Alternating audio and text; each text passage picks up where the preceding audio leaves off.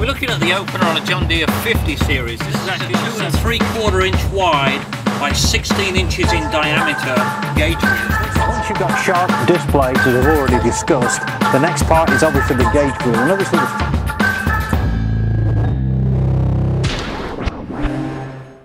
Hello, my name is Benjamin Needham with Needham Ag Technologies and today I would like to introduce to you a new fix that we have come out with for 50 series box drills, serial number 3834 and newer, as well as all 50 series air seeders.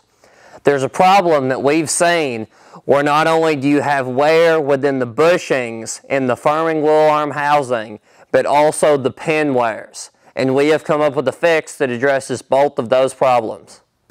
The solution to this problem comes in the form of a new arm. You will need this fix if you have more than a quarter of an inch of play to either side when wiggling your firming wheel arm. With this new fix, you will have a new arm which allows you to use a pin within that housing. The pin also, or the kit comes with our two poly bushings, two seals, a new washer, a new flange bolt, and a new flange nut. You will need to start out by cleaning out the housing as seen here using a drill or Dremel. Once you have cleaned out the firming wheel arm bushing pivot housing, you will install the new bushings using the Needham Ag bushing installation tool.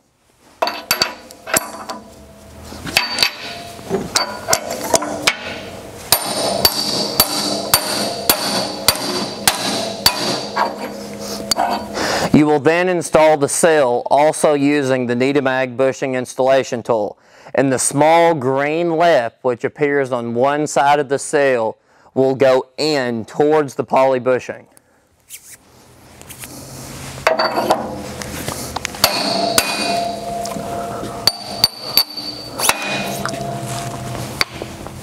After you have installed the two new poly bushings and seals, you will install the pin.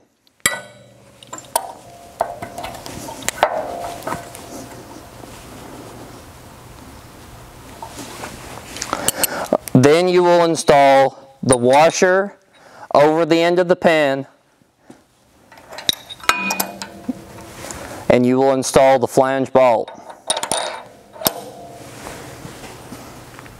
Now we're going to add the spring and the firming wheel arm.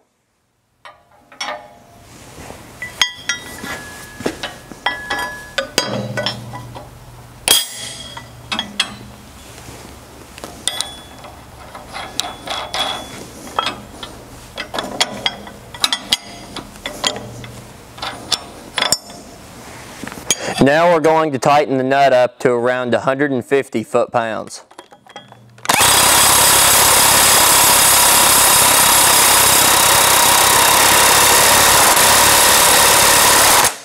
Now you will need to make sure your arm pivots freely.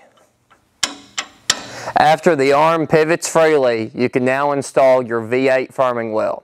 For more questions about this product, as well as other products we have, please visit our website, needhamag.com. Thanks for watching.